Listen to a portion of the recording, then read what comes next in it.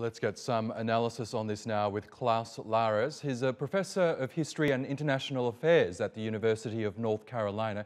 He joins us now from Chapel Hill. Welcome to the program, Professor. Can I start by asking you about the Turkish president's efforts to help mediate in this crisis? Turkey, as a NATO member, enjoys good relations with both Ukraine and Russia and is also a US ally, as we know. What impact could it have in trying to diffuse the standoff over Ukraine? Clearly, Turkey is an important member of NATO. It's an important geopolitical player. Uh, and Erdogan knows Putin very well, both in a more friendly way and in a more critical way. You know, relations between Erdogan and Putin have not always been good. But I think Putin respects Erdogan. And so his uh, efforts to mediate, hopefully they will be successful. At the moment, what you see is that a lot of uh, European uh, politicians are traveling to um, Kiev to try to mediate and to reassure Zelensky that he actually enjoys uh, the uh, support of the West. And this is a good thing. It also shows Putin that Ukraine isn't being left alone, that the Western world, including Turkey, and in particular, of course, including the United States, are strongly in support of uh, Ukraine. As we heard there, the US is ramping up efforts to support Ukraine by mobilizing thousands more troops to Eastern Europe. How is Russia likely to react to that?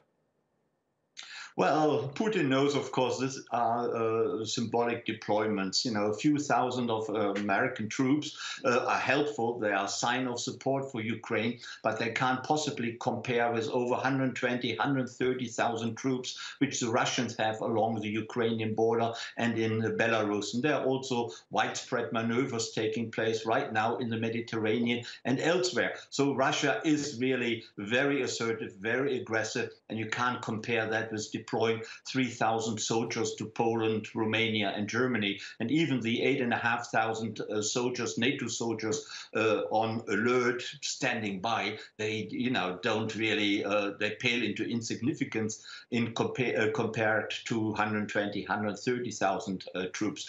And they are not meant to, so, to fight in Ukraine. That is what Biden made clear today. The American troops uh, I just mentioned, they're not supposed to fight in Ukraine, but they are symbolic. They are meant to show America's dedication to the NATO allies and that America is not being pushed about by any other power, including Russia, that they are prepared to support its allies. And I think that is the main importance of this deployment of 3,000 troops uh, to Eastern Europe and, of course, 8,500 who are standing by right now.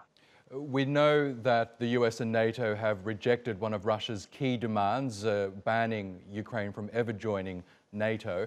Uh, given that fact, do you believe that uh, Moscow is likely to further invade Ukraine? Personally, I do not think that we can see a major invasion of Ukraine, maybe uh, may, uh, meaning a wholesale takeover of Ukraine. But I could expect, or I, I may, uh, I may expect that an invasion, be it a hybrid invasion, be it a full-scale invasion of the Donbas region, of that eastern part of Ukraine, which is already under the very strong influence of Russia, that such an invasion, such a hybrid uh, incursion may take place. This may not be the huge crisis which a full takeover of Ukraine uh, would uh, be, but it would still be a major crisis. But what we see at the moment is that Putin is becoming less urgent. He is mentioning diplomatic dialogue more so than he has done only one or two weeks ago. Uh, two weeks ago, he talked about an immediate answer he needs to get from NATO and the United States about his own demands. You know, he didn't seem to have any time to rely on diplomacy. He wanted to have an immediate answer from the United States. Now we hear Putin and Lavrov saying that there is time for a dialogue and time for engagement. And also the Normandy format between the four countries, uh, Russia, Ukraine, and Germany and France, has taken place again and will take place in a couple of weeks again in Berlin. This shows that also Putin believes in diplomacy and is probably not intending to move into Ukraine in a military sense. Of course, he needs concessions, he needs to sell something to his own public at home, but uh, I think, uh, you know, the chances that that crisis can be overcome by peaceful means is actually greater now than it was only a couple of weeks ago. And mediation by uh, people like Erdogan and other European leaders, and of course by the United States and their active uh, dialogue between, for example, Blinken and Lavrov, and also Biden and Putin, that has all contributed to that. So I think there's hope yet that we will not see a major war in Europe again. Okay, Professor Klaus Larres, it was really good to get your analysis. Thank you again for joining us. Okay.